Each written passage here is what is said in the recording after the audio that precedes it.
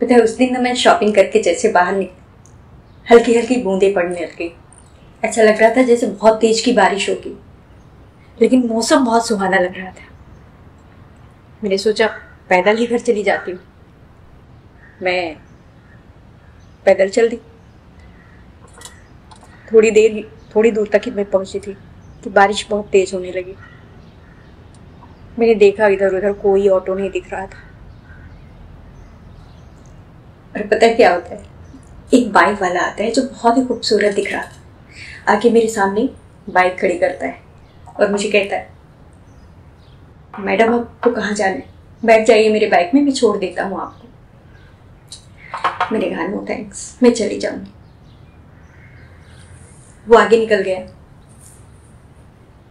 आगे जाके रुक गया। जैसे मैं उसके करीब पहुँची उसने कहा, मैडम देख रही हैं, बारिश कितनी तेज हो रही है। आप भीग गए। बैठ जाओ, मैं आपको छोड़ दूँगा। मैं कुछ नहीं करूँगा। शरीफ इंसान हूँ। हर इंसान गलत नहीं होता। मैंने भी सोचा, ठीक है, क्या गलत है? बैठ ही जाती हूँ। मैं बाइक में बैठ गई। चूँकि बारिश हो रही थी तो मैंने दोनों हाथ उसके कंधे में रखा। डरते डरते अचानक से ज़ोर का झटका लगा और मैं मैं अपने दोनों हाथों से बहुत जगा के पकड़ लिया। और वो एक ठंड जैसा लगा मुझे, पूरी बॉडी में ऐसा लगा कि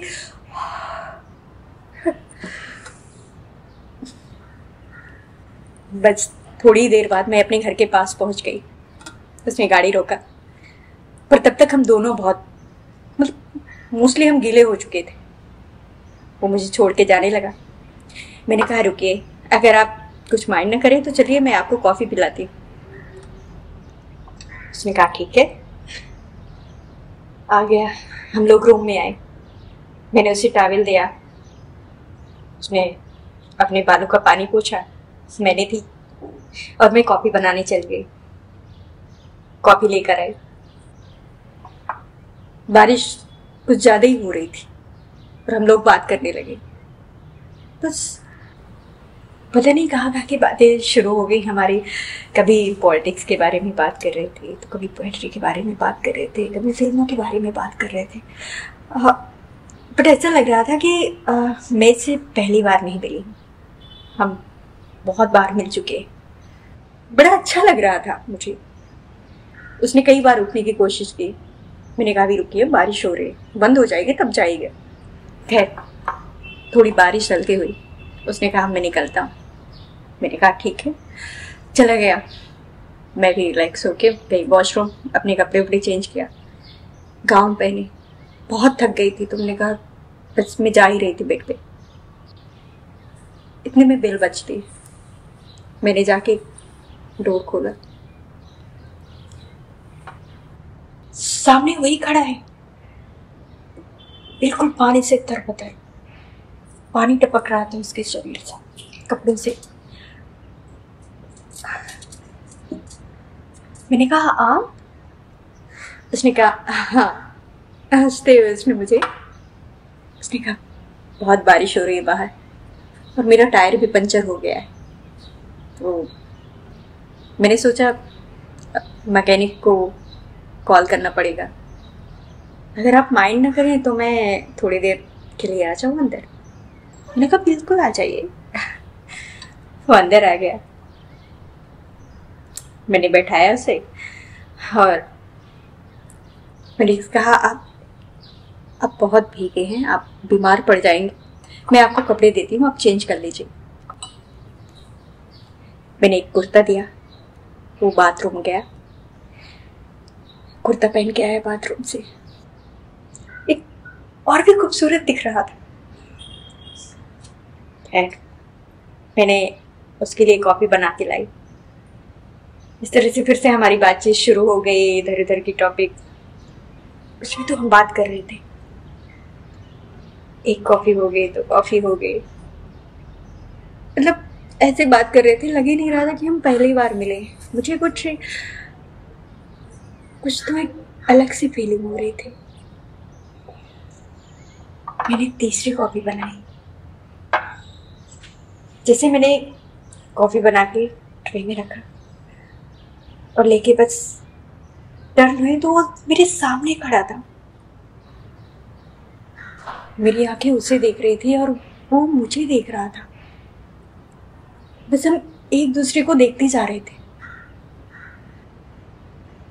ऐसा लग रहा था मैं बिल्कुल सुन हो गई उसने धीरे से हाथ बढ़ाया और उसने ट्रे मेरे हाथ से लिया। उसे प्लेटफॉर्म पर रखा।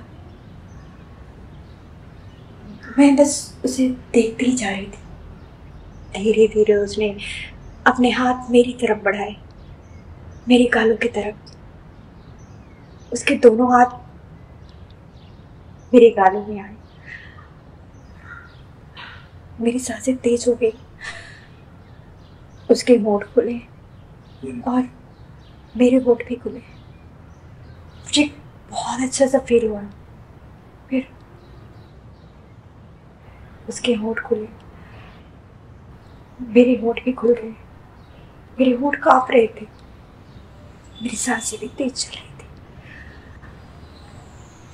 मैं मैं सोच रही थी कि उसे मैं मना करूँ, पर मैं कुछ नहीं बोल पा रही थी।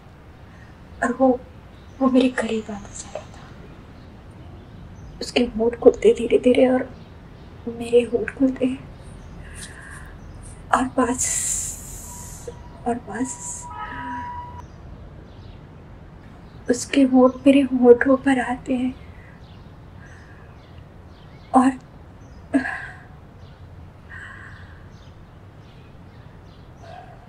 मैं